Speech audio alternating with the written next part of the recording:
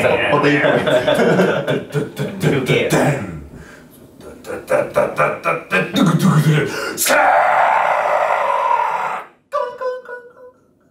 1スクリームウェブサイトをご覧の皆様こんにちはどうもスパークサンショー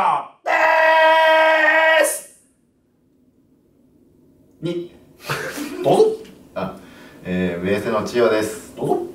あ俺一郎と一緒に言うから。はいどうぞ。あ、俺の代わりに自己紹介。あとあの、メンバーの好きな食べ物。食べ物。確かに。えー、タクマンです。マックのポテトが大好きです。はい。えー、そして私いや大柄ゆうきです。ーはい、えー、僕はイチゴが好きです。ゆうきは、えー、トウモロコシが嫌いです。えいや、トウモロコシともさ、コーンがある。これトウー、あトウモロコシは良くてコーンが嫌いです。はい、ベースの千代です。シソが大好きです。は よう分かってるい、今回3、えー、リリース、リリース作品。リリースクスクス。6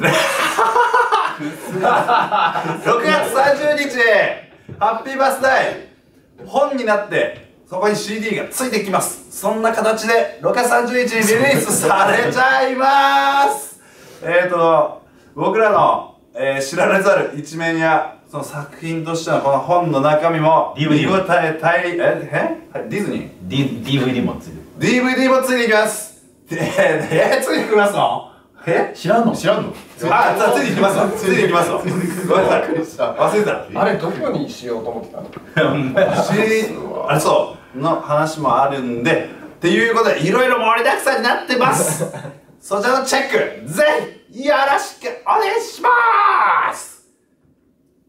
4ツアーやライブイベントについて。えー、というお話ですが何かありますか？7月に、えー、ツアーをやります。